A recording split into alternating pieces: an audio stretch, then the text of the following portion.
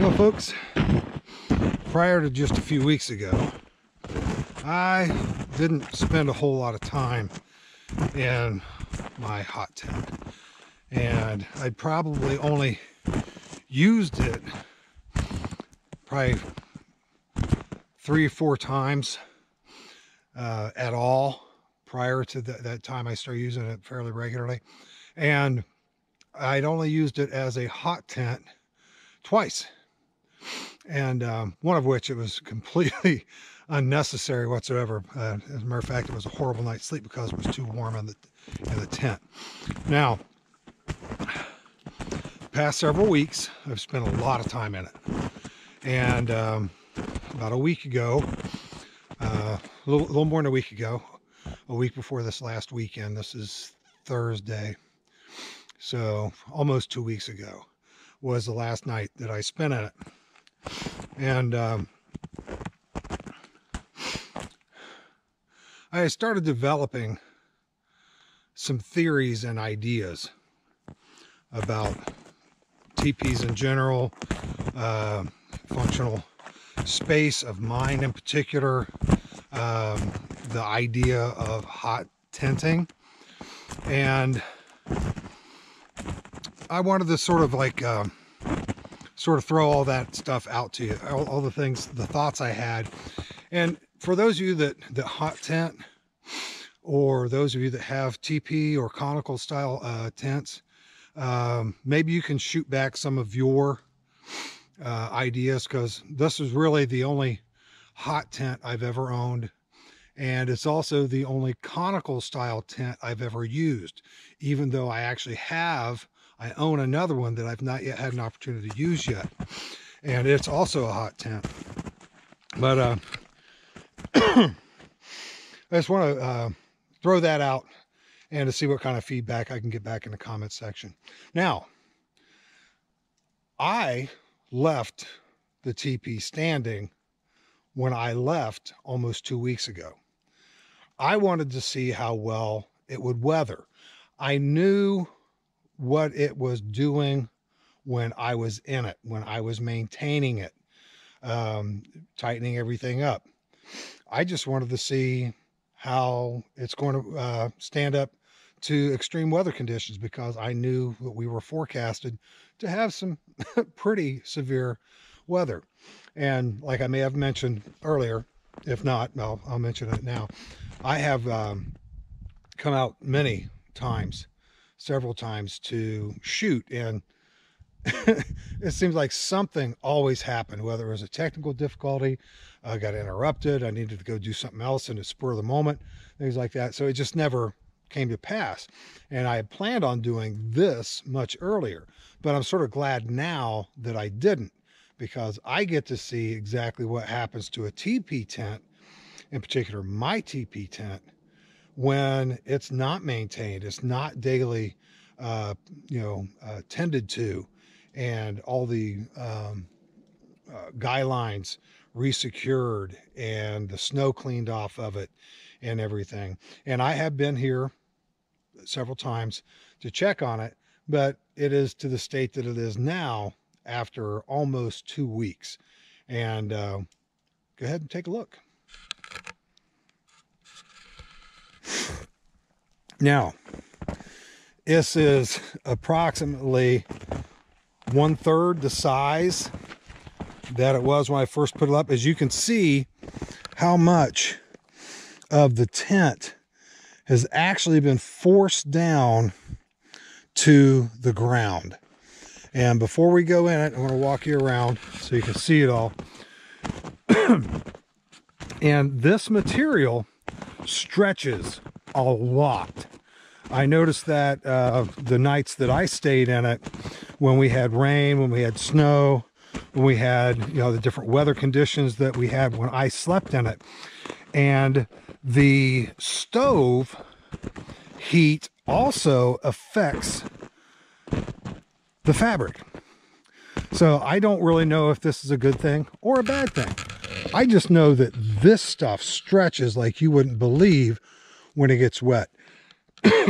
Now, uh, the first night that I was in it, that it rained, uh, me and my uh, buddy uh, Bill Johnson stayed in it. I noticed that there was a little bit of condensation issues, things like that. However, I noticed that the fabric had begun to sag after I had, you know, had tightened up the guy lines earlier that evening. And by that evening, uh, it was actually, I was sleeping close to or closer to the wall. And the wall had sagged to the point to where it was touching me and the condensation was running down and it actually got my sleeping bag wet. now, I didn't have too much of a problem with water running in under the tent because it has no floor, but the, the ground was already wet as it was. And I had a heavy duty uh, space blanket laid down as my moisture barrier, as I, I always do. And uh, it did help okay. However, being on an, uh, being on uneven ground, things slide. Things slide downhill. And I happened to notice that uh, at one point during the night that my sleeping bag that I was sleeping in slid to the point to where the bottom of my sleeping bag had actually went underneath the teepee and was now outside of the teepee. And um, so that that is a problem. Uh, that my, my sleeping bag got wet. It did not soak all the way through to where it affected my feet, which I'm very, very thankful for. Now, I started thinking about some resolutions that I have to these particular problems as far as dealing with the uneven ground. And uh, one of which is creating a framework or at least a, um, a foot post like uh, you'd have uh, on, on, your bed at home. You have a, a, a um, headstand and a, and a foot stand to your, your bed. Um, you something that sticks up. So if I were to do something like that, a log, something like that, that I could stake into place on the inside of there so that if I'm sliding downhill, my feet are going to stop on that one log that I have staked into position that it's not going to go anywhere.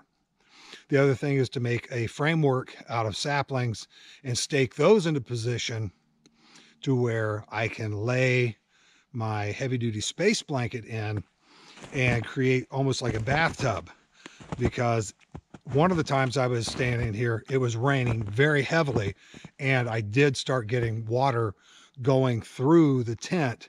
And because I had been in there for a while, the um, heavy duty space blanket compressed, water began to run across it.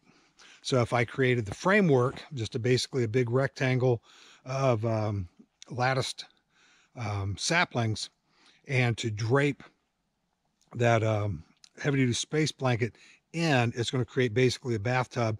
And I can stake that down so it's not going to go anyplace on the outside of it and set my sleeping bag down inside. It's not going to go anywhere. My sleeping bag's not going to go anywhere. I'm not going to go anywhere. And which would remedy that problem. Both of which are, um, their issues. I mean, you, you have to really work at trying to get this thing um, to where it's usable. I don't know if it's worth the effort. The other thing I was thinking of, and there's a lot of companies out there now that have them, and they have backpackable lightweight cots. I, th- I was thinking about that. So a cot might be the answer for that, which would be perfectly fine. And uh, there, there's a good bit of condensation on the inside of the tent when you utilize the wood stove, um, if you did so with dry ground, I didn't notice the condensation as much. But when you're setting up and the ground is already wet, perchance even have snow or whatever, but it was just wet from uh, prior day's rain, there was a lot of condensation in there, even when you're using the wood stove. And if you roll up against the inside wall of the teepee tent with that condensation, it triggers it and it rolls down and it will get your sleeping bag wet or it will drip on you. Either way are things that can prevent you from having a decent night's sleep. Now, I'm going to go ahead and open up the um, teepee tent so that you can see what the interior looks like. Now, I guarantee you it's not changed from the past couple times I've come out. Uh, when I've actually come out, I've fired up the wood stove, which I'm not going to do this time. Um, and, um, you know, had, had a, chance to try to dry it out, which uh, failed miserably. Uh, the firewood is still fairly dry, except for that which was actually touching the ground or has now been squished or laid upon by the walls of the TP tent. Now the firewood was still fairly dry. Um, the, as you can see right here, that underneath there is where the firewood is. Now, the condensation and stuff that comes down has made the exterior of the firewood wet, but it hasn't soaked it or anything. So it's, it's still usable. Now what I'm going to do is I'm going to go ahead and unzip this and let you see what's inside.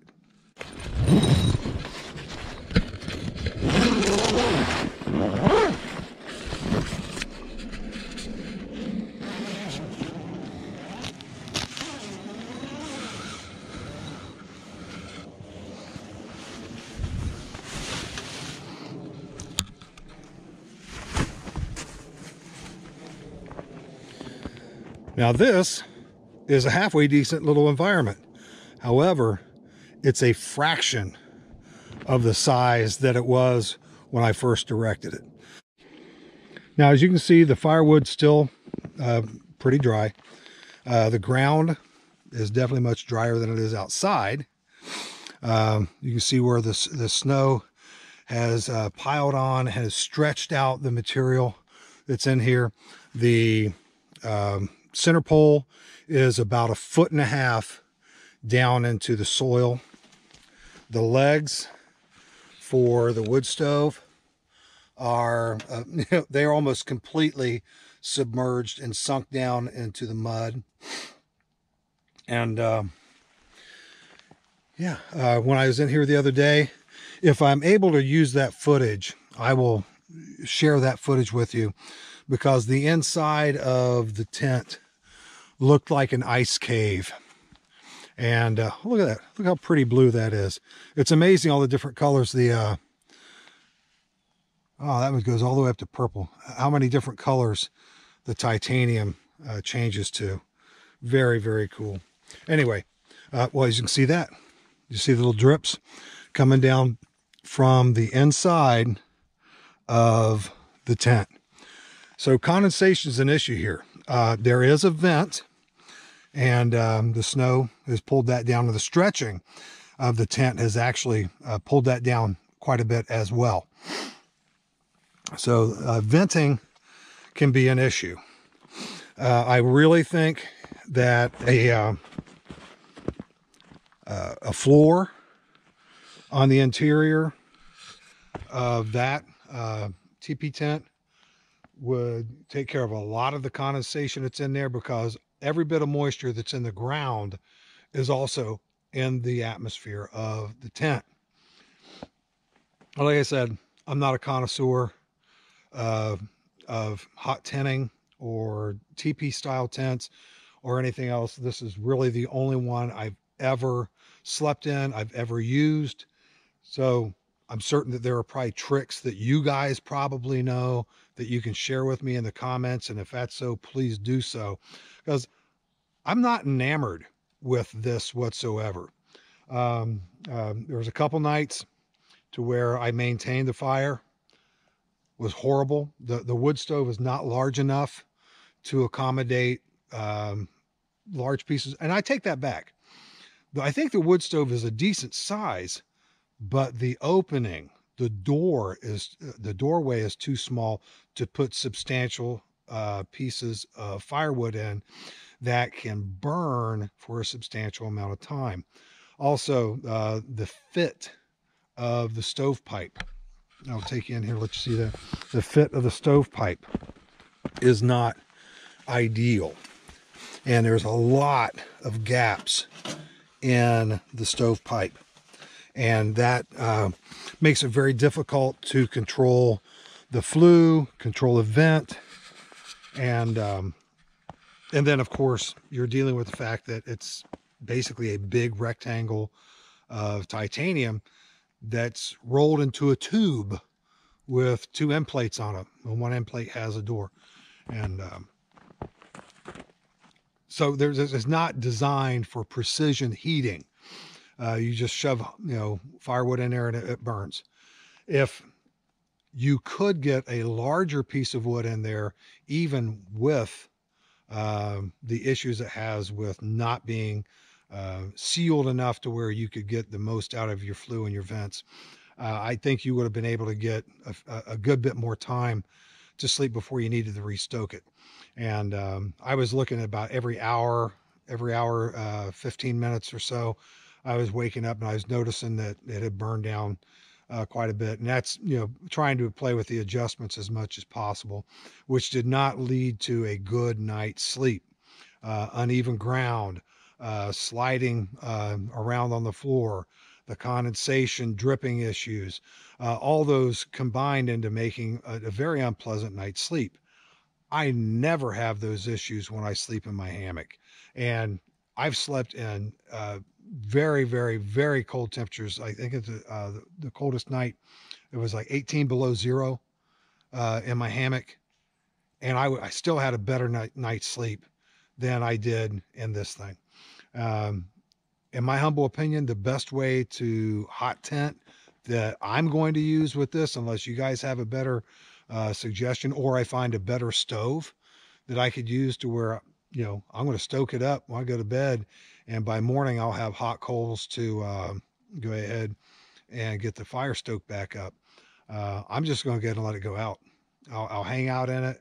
And then when it's time to go to bed, I'll lay on top of my um, sleeping bag, uh, maybe have a, a woobie or something like that on top of me. And um, then as it gradually gets colder, I'll get in a sleeping bag, then I'll gradually zip it up, go through whatever I need to, and just finish the night up. And then when I get up, have everything already pre laid out, pre arranged for me to be able to um, stoke up the fire, get it going, and get it nice and warm really quick. Uh, one of the other problems I have with this stove is you really can't cook on it. Um, it's incredibly fragile. Um, and uh, I would not want to put any amount of weight on there. Um, I wouldn't want to have anything negative happen um, to a live fire that could possibly bust loose uh, from this stove. So it's definitely not a cooking stove. It would have been really nice to be able to have uh, the ability to put uh, cook pots on there for water, uh, things like that, heat up soup. I mean, matter of fact, I mean, I wouldn't want to be in it to have it hot enough to like fry eggs and stuff. But I mean, I guess you could, you could open it up like I've got it right now and do that and then turn the vents and stuff back down, get back in it and, uh, you know, enjoy a, you know, a much less uh, temperature in there, much less heat uh, for the rest of the evening.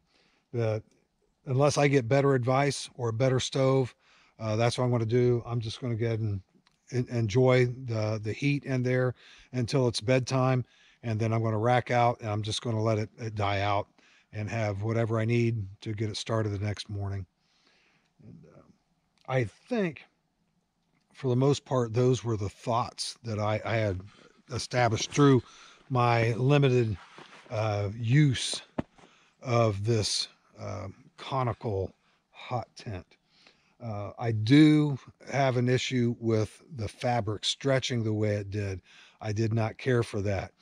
Um, if you're in an environment to where you uh, are in a blizzard situation and you do not have uh, uh, the realistic means to constantly get the snow off the tent, um, that's how big of a space that you're going to have for the number of people that you have in there.